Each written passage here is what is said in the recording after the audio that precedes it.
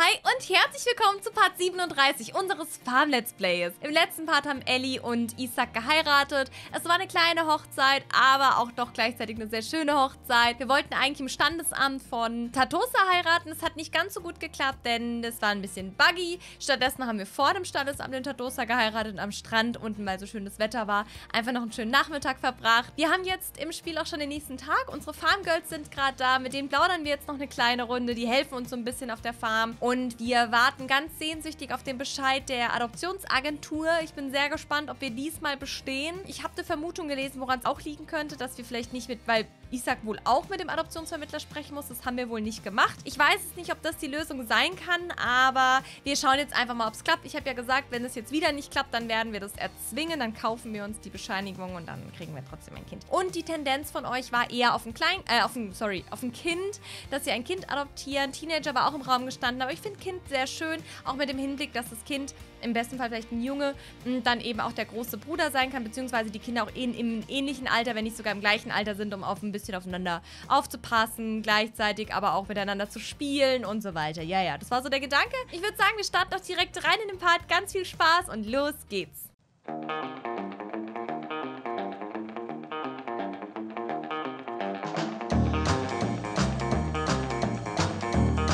Ist auch unsere Tochter jetzt gerade aufgewacht. Die ist nicht so ganz happy, sehe ich gerade. Wir müssen jetzt unbedingt mal in die Badewanne stecken. Isaac ist gerade noch draußen auf dem Hof beschäftigt. Deswegen kümmert sich jetzt Ellie um ihre Tochter, Hazel baden. Und Hazel hat morgen auch Geburtstag. Das heißt, die wird jetzt auch bald schon zum Kind. Da freue ich mich jetzt, also wird wahrscheinlich jetzt, also es wird nicht wahrscheinlich, es wird definitiv in diesem Part soweit sein, dass sie Geburtstag feiert. Da freue ich mich auch drauf, denn ich habe richtig Bock auf ihr Umstyling. So, Hazel, geh mal bitte in die Badewanne jetzt. Ellie, do it. Sehr schön. Hazel sitzt in der Wanne.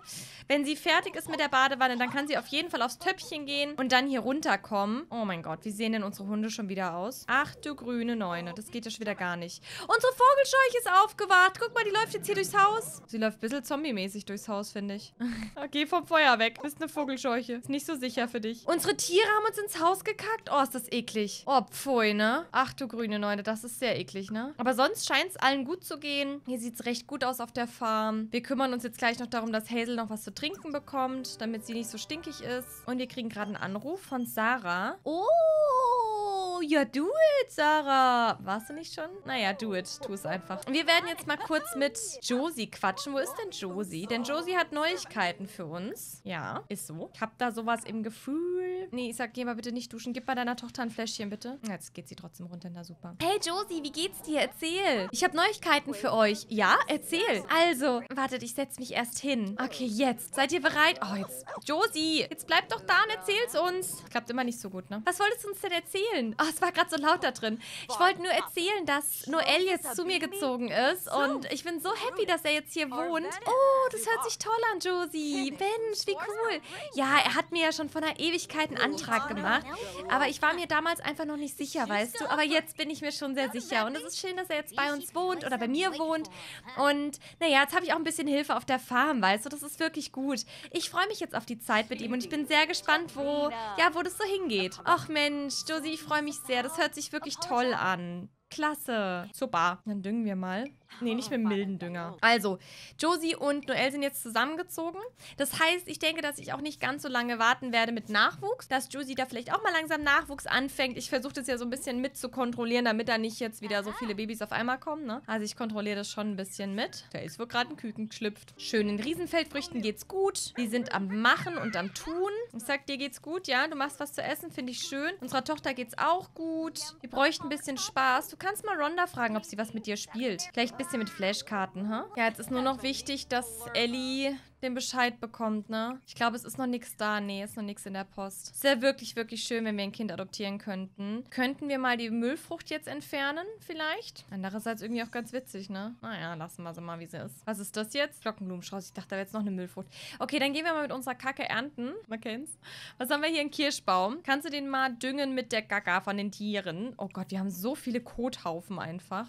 Igitt. Aber wir haben halt so viel davon. So, Ellie macht eine große Düng-Action jetzt. Oh, das war sogar eins ihrer Ziele. Eins, was sie machen wollte. Das ist ja perfekt. Isaac ist hier mit allen am Quatschen. Unsere Tochter spielt eine Runde. Wie schön. Wie steht's denn eigentlich? Denken hast du noch nicht so weit oben. Dann geh doch mal ein bisschen die Form studieren. Und wie du da vielleicht auch noch ein bisschen was aufbaust. Loki ist älter geworden. Oh, ein Doggo jetzt. Oh, Loki ist ganz alt. Oh, süß. Hey, deswegen brauchen wir noch lange nicht bellen. Können ja eine Runde balgen mit ihm. Dann werden wir das Töpfchen sauber machen und Staubsaugen.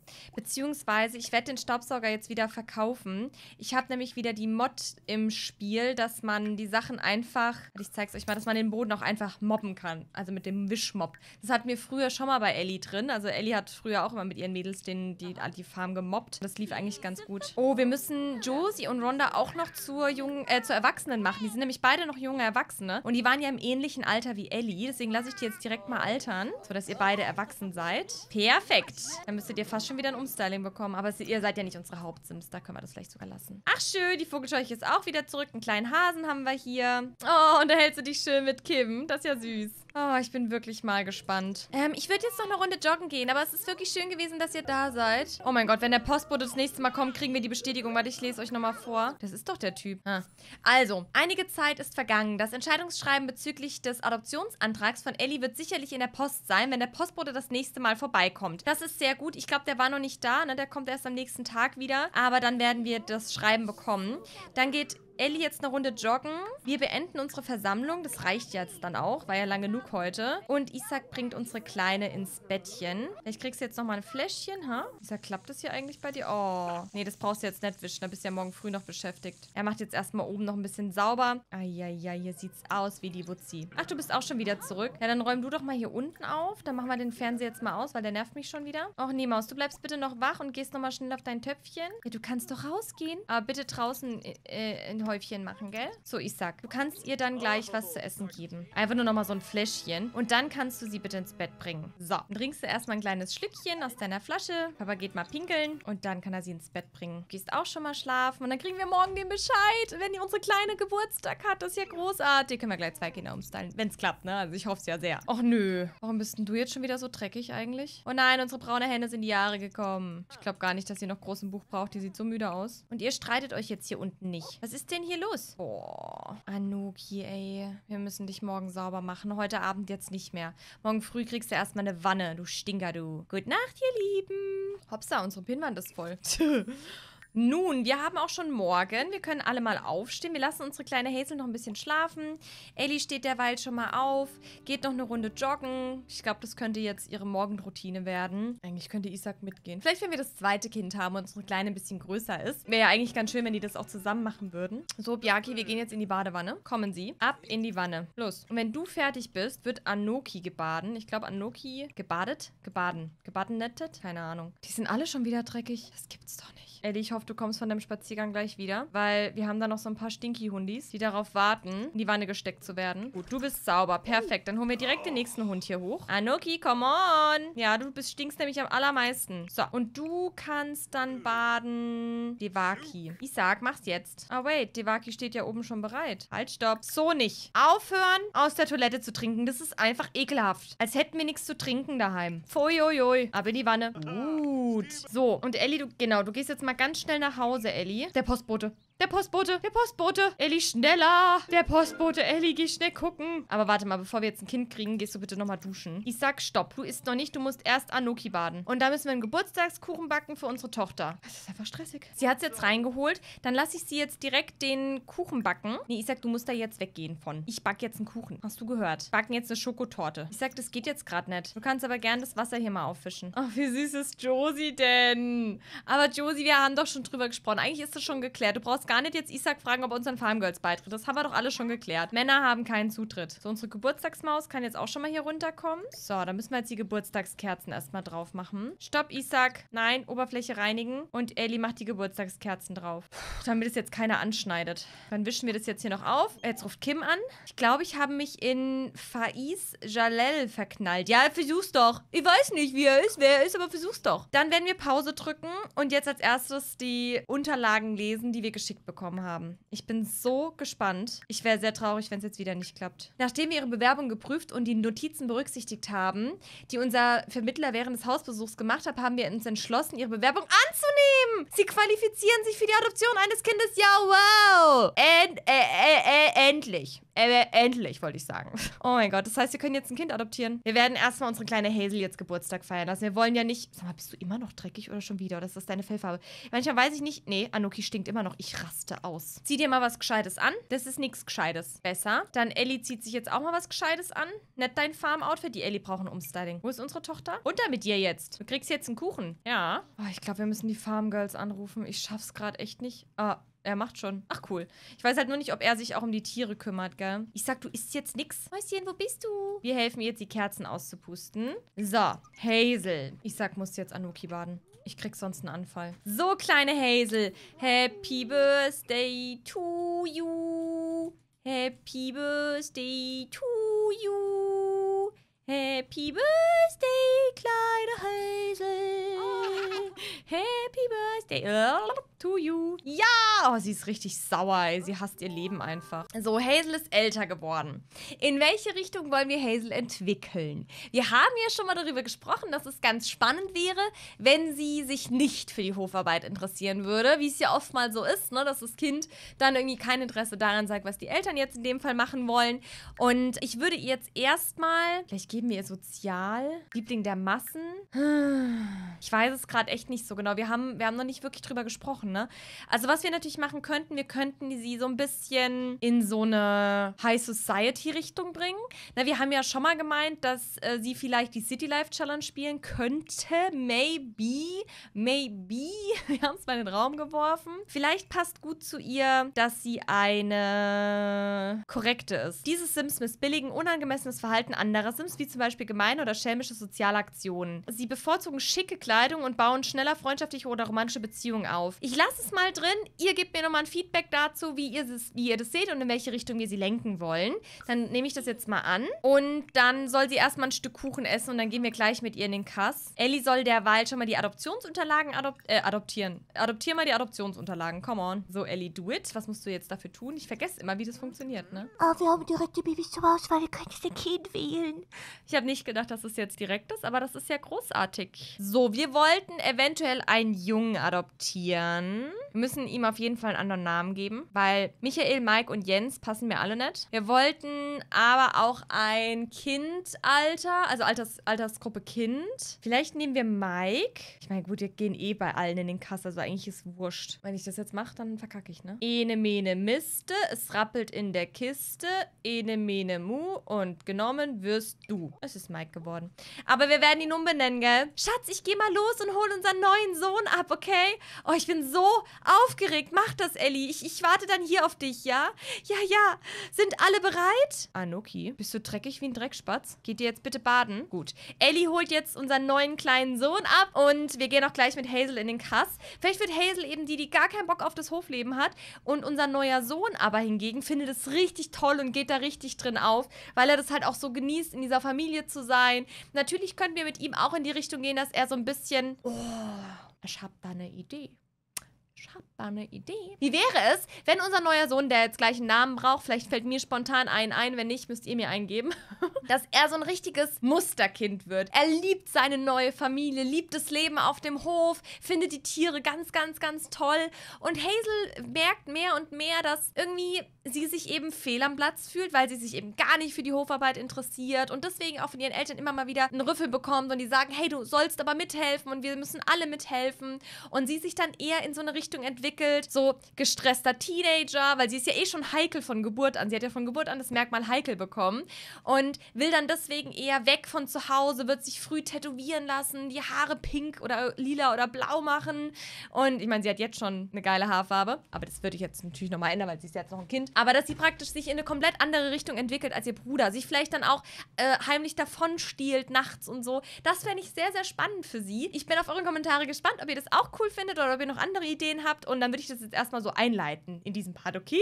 Okay. Oh, unser Sohn kommt gleich. Okay, wir brauchen natürlich jetzt erstmal den Nachnamen und der ist Logan.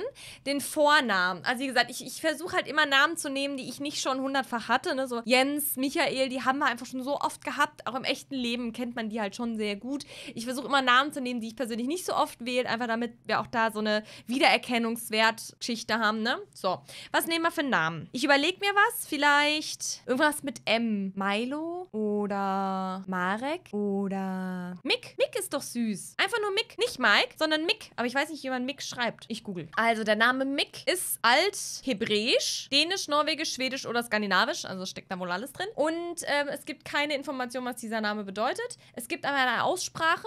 Mick. Mick. Mick.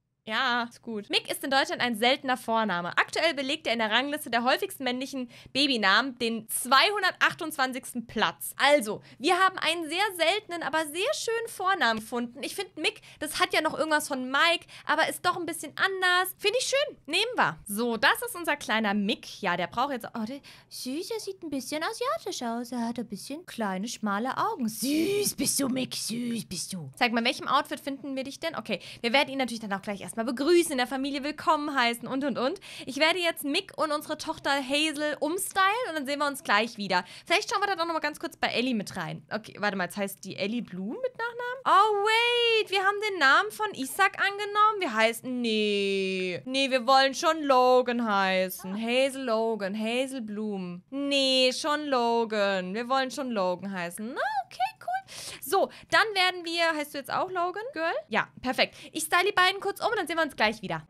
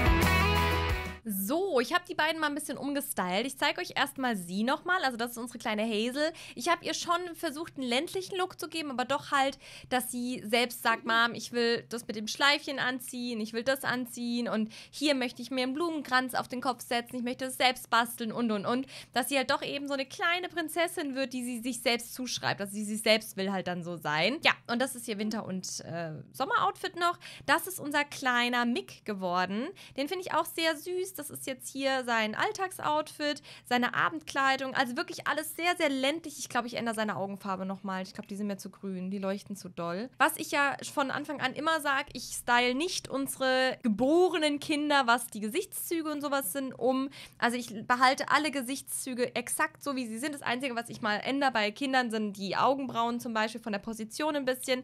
Aber ich versuche die immer nicht zu krass zu verändern, weil die sollen ja ihren natürlichen Look beibehalten. Das ist ja das Schöne bei unseren Genen. Bei Mick mache ich jetzt eine Ausnahme, damit die Augen nicht so, ja, das sieht besser aus. Genau, damit ihr wisst, warum ich jetzt zum Beispiel ihren Mund nicht noch größer gemacht habe, weil der ist schon sehr schmal und sehr lang. Aber das ist halt so. So sieht Hazel nun mal aus. Das sind die Gene von Isaac und unserer Ellie. Ja, deswegen lasse ich das so. Äh, ich gucke jetzt noch mal ganz kurz bei Ellie rein, ob wir da was machen wollen, weil wir müssen ja noch dran denken, dass wir auch noch die Kinderzimmer machen müssen, ne?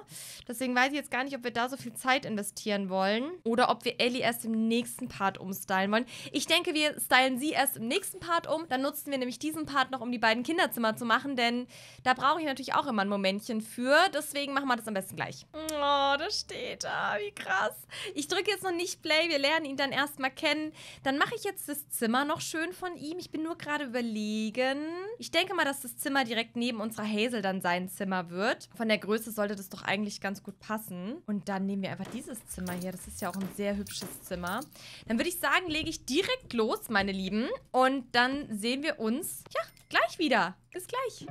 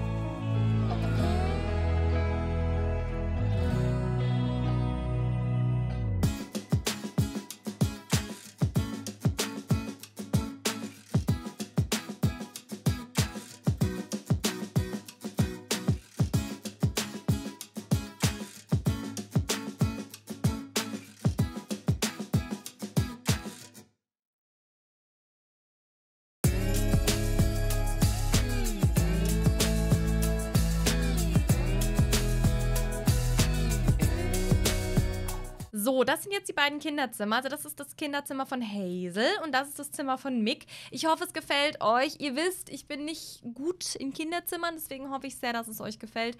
Es ist mir, es fällt mir immer sehr, sehr schwer, da ein schönes Zimmer reinzumachen. Ah, jetzt können wir noch schnell das äh, Klo verkaufen, fällt mir ein. Dann werden wir unseren neugeborenen Sohn oder unseren neuen Sohn jetzt auch direkt begrüßen.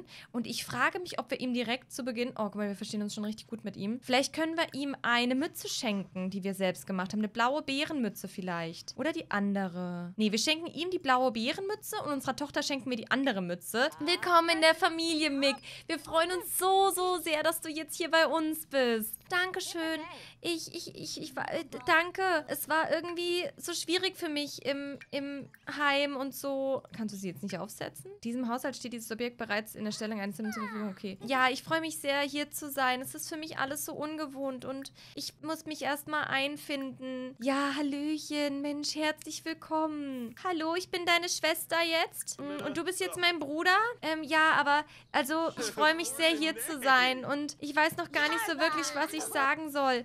Hallo erstmal. Ja, hi, ich bin Hazel und ich bin Mick. Mick wie Michael oder Mick, Mick, Mick, Mick, Mike? Nein, einfach nur Mick. Okay. Man hat mich im Kinderheim so genannt. Ich bin da schon sehr lange und ähm, weißt du denn, wer deine Eltern sind? Hazel, frag ihn doch nicht gleich aus. Nein. Ich weiß nicht, wer meine Eltern sind. Aber sie haben mir irgendwie den Namen gegeben. Ich weiß es nicht so genau. Naja, dann ähm, würde ich dir einfach mal alles zeigen, ja? Oh, das ist eine gute Idee, Hazel. Zeig ihm mal den Hof. Okay, dann komm mal mit, dann zeige ich dir mal Stanley. Ausgerechnet Stanley sieht aus wie die Wutz, ne? Wie sieht's denn hier aus? Okay, wir müssen uns erstmal alle zusammen um den Hof kümmern. Also das ist unser, unser, unser Stanley, da hinten ist Kuba. Und das sind unsere ganzen Chickens. Den, den du gerade siehst, das ist äh, ein unbenanntes Chicken. Oh, ihr habt all, nicht allen einen Namen gegeben? Nein, das ist immer schwierig, allen einen Namen zu geben, weil man baut dann so schnell eine Bindung zu ihnen auf. Komm, ich zeig dir, wie du Stanley putzen kannst. Denn es ist wichtig, Mom und Dad verlangen von uns, dass wir auch mit anpacken, denn wir leben ja hier. Ja, ich verstehe. Komm, du kannst rübergehen zu Kuba und dann kannst du Kuba genauso sauber machen, wie ich Stanley sauber mache. Ich kann es ja mal versuchen, aber ich hoffe, dass Kuba mich nicht beißt. Nein, Kuba beißt nicht. Kuba hat mich noch nie gebissen. Wenn Kuba dich beißt, dann mag Kuba dich wahrscheinlich nicht. Oh, hm, ich glaube, es klappt. Ja, das sieht ganz gut aus. Das wird Mom und Dad sicher gefallen, dass du da ein bisschen Spaß dran hast. Ja, es ist sehr interessant. Ich meine, ich habe noch nie auf einem Hof gelebt. Ich mag Tiere. Eine Katze kennenlernen. Oh, süß bist du. So, wir lernen dich jetzt mal kennen, kleiner Mann. Wer bist du denn? Er ist ein Katzen... Oh nein, wir haben einen Katzenfreund adoptiert. Und was haben wir? Vier Hunde. Oh, damn it. Das ist nicht so gut. Oh, Hazel, was machst du hier denn? Wir wollten doch einen guten Eindruck machen. Du gehst jetzt auf dein Zimmer, Hazel. Los. Er unterhält sich mit der Kuh. Hazel kriegt jetzt Stubenarrest. Hazel, ausgerechnet heute. Ich finde es nicht in Ordnung. Oh Gott, wie gruselig. Sie dreht ihren Kopf. Oh mein Gott. Sie hört nicht auf, ihren Kopf zu drehen. Aber ich habe doch Pause. Haben wir sie jetzt schon geschimpft? Scheinbar, ne? Ja. Mensch, das machst du wirklich gut, Mick. Das klappt ja wunderbar hier. Schön, dass du Kuba gemolken hast. Mensch, das ist beim ersten Mal gleich, dass du dich das auch getraut hast. Finde ich wirklich absolut großartig. Sag mal, stehst du bitte wieder auf? Ich würde gern eigentlich mal mit allen Kindern zusammen Abendessen. Wir haben Glückwünsche zum neuen Familienmitglied bekommen. Wie schön. Boah, ich glaube fast, wir müssen uns... Und du isst jetzt vorm Fernseher? Hazel ist richtig frech, ne? Jetzt hat sie sich einfach vor den Fernseher gesetzt zum Essen. Ich glaube es jetzt nicht. Also wir werden vielleicht nochmal drüber nachdenken müssen, ob wir ein Kindermädchen engagieren. Ich weiß nicht so genau, ob das in diesen Gedanken des Farmlebens passt, aber mir habe ich so ein bisschen das Gefühl, dass das helfen könnte. Und äh, wenn du möchtest, zeige ich dir dann auch noch dein Zimmer und wo du dann heute Nacht schlafen kannst. Also das ist ja dann dein eigenes Zimmer. Und ähm, hast du gesehen, da war gerade ein Hase. Du kannst mal zu den Hasen gehen und ihnen mal Hallo sagen. Oh, Hasen? Nagende Verbitterung. Gegen wen hegst du jetzt bitte einen Groll? Schwellender Groll? Aha, macht gar keinen Sinn. Aber vielleicht ist er noch nicht so ganz angekommen, ne? Kann sehr gut sein, dass er sich einfach noch nicht so angekommen fühlt bisher. Ich meine, es ist ja auch schwierig für ihn jetzt in der neuen Familie, nachdem er jetzt im Heim war die ganze Zeit. Er kann ja noch ein Stück von der Schokoladentorte essen. Hazel kann vielleicht ein bisschen mit ihrer Puppe spielen noch. Und Isaac muss dann eigentlich noch eine Runde saugen, beziehungsweise Boden wischen. Hast du eine Frage? Oh, er hat eine Frage. Ist die erste Frage an uns. Nicht klug genug. Ich habe versucht, meine Hausaufgaben zu machen, aber die letzten Aufgaben waren wirklich schwer. Vielleicht bin ich einfach nicht klug genug. Was meinst du? Hey, ich denke, wenn du weiter daran arbeitest, dann wird es bestimmt besser, denn Übung macht den Meister. Und wir werden ihm auf jeden Fall bei seinen Hausaufgaben dann helfen, denn ich glaube, das wird ihm gut tun, wenn er da ein bisschen ja, Hilfe von uns bekommt. Ähm, er kann ja schon mal anfangen mit den Hausaufgaben und Ellie setzt sich dann direkt zu ihm und hilft ihm noch ein bisschen bei den Hausaufgaben. Hazel, machst du auch deine Hausaufgaben bitte? Ja, Mom. Oh, guck mal, wie schön sie jetzt alle zusammen hier sitzen und die Hausaufgaben machen. Love it. I love it. Das war eine schöne Idee, ein Kind im Alter von äh, Hazel zu adoptieren. So, und dann geht ihr jetzt alle mal ins Bett. Mick und Ellie sind soeben gute Freunde geworden. Wie schön. Mick, dann gehst du mal in dein Zimmer, in dein Bett. Und ich hoffe sehr, dass das jetzt auch hier funktioniert. Automatische Lichter, alle Lichter. Oder kannst du auch ins Bett gebracht werden? Ellie bitten, ins Bett zu bringen? Ja, bitte. Und Hazel möchte von ihrem Papa ins Bett gebracht werden. Dad, wach wieder auf. Bitten, ins Bett gebracht zu werden von Isaac. Nee, Schatz, du kommst jetzt bitte rein. Mick, kommst du rein? Wir können so spät nicht mehr draußen spielen. Weißt du, morgen ist dein Schultag, dein erster. Und es ist wirklich wichtig, dass du da dann auch fit bist und alles. Danke, Dad. Schlaf schön. So, Mick, dann schlaf du auch mal schön. Mick, gehst du jetzt bitte in dein Bett? Ja, das hat doch sehr gut geklappt, meine Lieben. Und an der Stelle beenden wir den Part auch. Ich bin sehr glücklich, dass wir den kleinen Mick adoptieren konnten, dass er jetzt ein Teil unserer Familie ist. Ich bin sehr sicher, dass es so großartig wird, wenn er jetzt mit uns und bei uns aufwächst. Ich hoffe sehr, euch hat dieser Part gefallen. Ich bin auf eure Kommentare gespannt. Schreibt mir ganz fleißig eure Ideen für unsere Hazel rein, denn das Farmleben haben wir jetzt schon viel erforscht und ich wäre, glaube ich, langsam ready, dass wir uns auch Gedanken machen, wie es mit dem Kind weitergehen könnte, als mit Hazel beispielsweise. Oder vielleicht mit Mick. Ich weiß es nicht. Schreibt es mir einfach in die Kommentare. Ich bin gespannt. Ich wünsche euch jetzt einen fantastischen Tag, Mittag, Abend, je nachdem, wann ihr euch dieses Video anschaut. Macht's gut, meine Lieben. Und tschüssli.